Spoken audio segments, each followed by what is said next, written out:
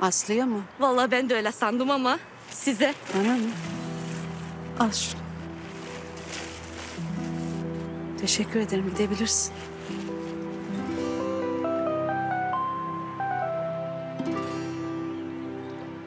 Kıymet verdiğin kalbi kırınca özrün manası yok. Seni kıracak bir kelam edeceğime bir ömür dilsiz kalmayı tercih ederdim.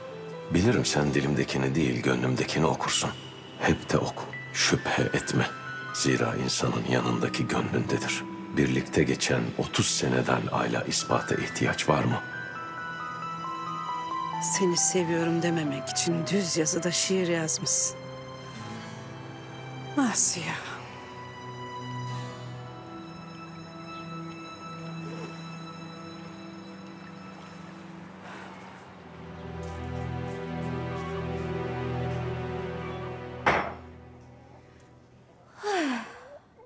Suh sesli karlı dağlara yayılır.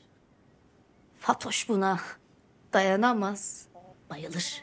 Kız o ne öyle 23 Nisan gibi? Şiir. Haydi gözümüz aydın abla.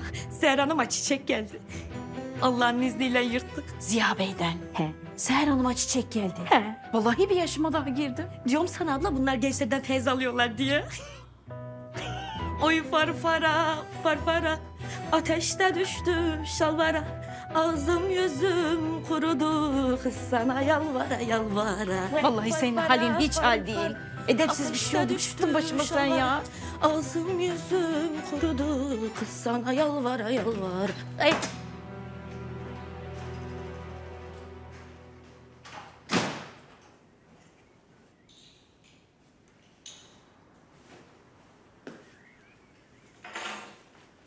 Hoş geldin Aslı. Hoş buldum. Ne oldu? Ne bu hal? Yine tartıştınız mı yoksa? İyiyim. Emin misin? Biraz yorgunum sadece. Tabii yemeğe kadar dinlenirsem geçer. Tabii. Git rahat rahat dinlen. Biz zaten akşam evde yokuz. Ziya beni akşam yemeğe çıkarıyor. Ne güzel.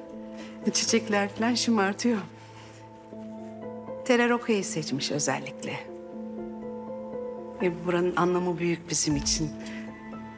Mehmet'e hamile olduğumu orada söylemiştim Ziya'ya. Sevinçten baba oluyorum diye öyle bir bağırmıştı ki herkesin içinde. Çok utanmıştım. Size de nasip olsun böyle mutlu anlar. Amin. Gerçekten yorgun görünüyorsun. Git dinlen biraz. Yine hasta olma da. Çay falan bir şey istiyorsan göndereyim. Yok sağ olun. Thank you.